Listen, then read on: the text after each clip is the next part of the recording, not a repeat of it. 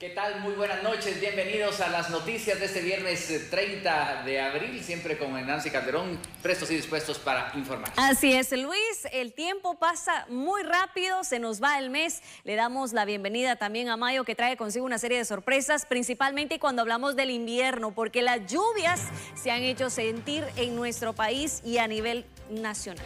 vaya fuerte aguacero el que caía hoy al final de la tarde aquí en la ciudad capital, en algunos puntos del país también. Revisamos eh, cómo está la salida al Atlántico, kilómetro 7, en esta ruta que a esta hora está registrando una eh, afluencia vehicular, pero se observa lo mojado del asfalto que ha quedado ya de la lluvia de primeras horas de la noche y que se mantuvo en algunos sectores. Sin embargo, Nancy, es eh, viernes, es fin de mes, y a pesar de las condiciones de la pandemia, pues muchas personas decidieron salir. Está fluido a pesar de la carga vehicular que se reporta tanto hacia el norte como hacia el sur del país podemos observar a estas horas de la noche, cuando son las 22 horas con 5 minutos, cómo los vehículos pues trascienden a sus diferentes rutas. Eh, muy importante darles a conocer eh, las medidas de precaución que deben tomar la responsabilidad al volante antes de conducir su vehículo, revisar que todo se encuentre en perfectas condiciones. Cuando hablamos eh, de condiciones de la mecánica de su vehículo para evitar cualquier accidente, es mejor prevenir que lamentar, Luis, definitivamente. Y este es el panorama que se. Bien lo mencionas, también llegamos a fin de mes, algo que podría ser una causa también para que haya más afluencia de vehículos. Hay que destacar que mm, la calzada San Juan y la Roosevelt fueron una de las arterias más eh, afectadas esta tarde y noche por eh, las torrenciales lluvias, en donde se observaba precisamente eh, largas filas de vehículos con complicaciones, pero lo demás ha ido fluyendo. Ya tendremos el reporte esta mañana también de un lamentable accidente ahí en la autopista Palines Cuintla y otras noticias que enfocamos ahora a través de nuestros titulares.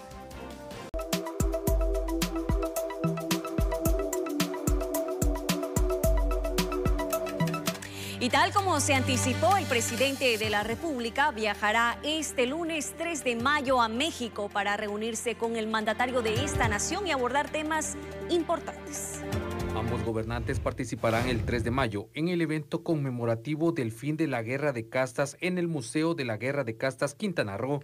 El lunes 3 de mayo vamos a llevar a cabo la ceremonia de perdón. Nos va a acompañar el, presidente de la República hermana, vecina de Guatemala.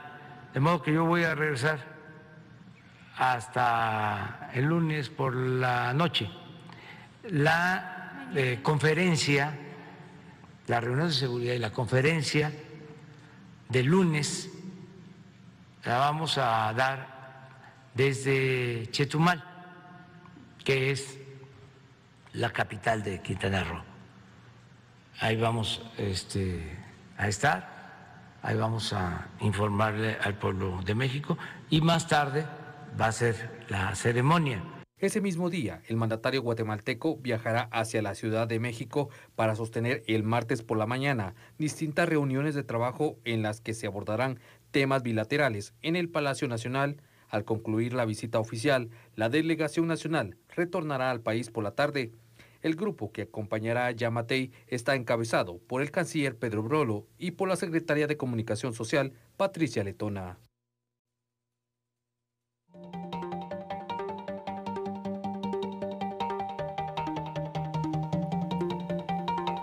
Muy bien, estamos llegando a la recta final de este informativo, esta vez para darle a conocer lo que indican las autoridades del Ministerio de Salud Pública y Asistencia Social acerca de la estrategia de vacunación vehicular en Guatemala.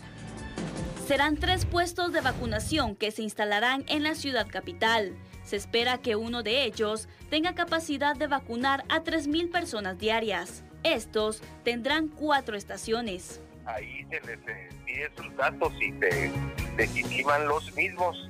Posteriormente entran a otro, a otro lugar donde va a ser el... Siguen caminando pues y llegan a otro puesto en donde ellos tienen que dar eh, la hoja del consentimiento, que están de acuerdo que se les vacune. Eh, posteriormente siguen, siguen circulando, llegan al tercer puesto que es donde se les vacuna. Eh, eso es muy rápido, pues estamos hablando de un minuto. Eh, y el cuarto puesto, que es la parte que nosotros en salud le llamamos, le llamamos de SAVI, prácticamente ahí es donde se evalúa si hubiese algún efecto.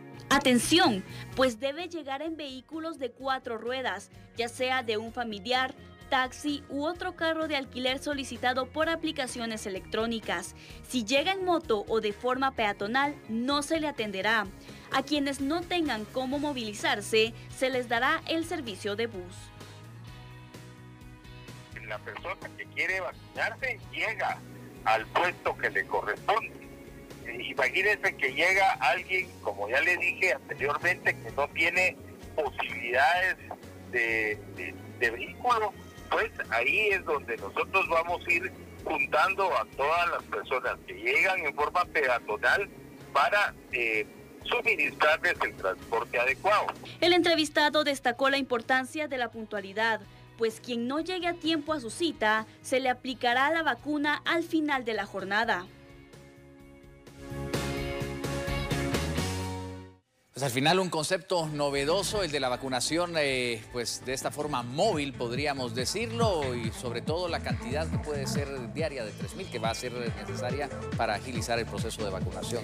Muy importante también para facilitarle a las personas de la tercera edad, pues sabemos tienen ciertas dificultades físicas en la mayoría, así que será una muy buena ayuda y un paso más a la vacunación en nuestro país. Luis, es momento de despedirnos. Llega el fin de semana, será un fin de semana largo para algunos por el asueto prolongado del día del Trabajo. En todo caso, muy feliz Día del Trabajo a todos ustedes quienes se esfuerzan a diario haciendo pues un trabajo que ojalá les guste y sobre todo que tiene una remuneración y es para pues llevar el sustento diario a los hogares. Esto nos lleva a recordar la historia, Luis, pero principalmente recordarles también que no puede descuidar las medidas de bioseguridad por COVID-19. Buenas noches, que descanse. Feliz fin de semana.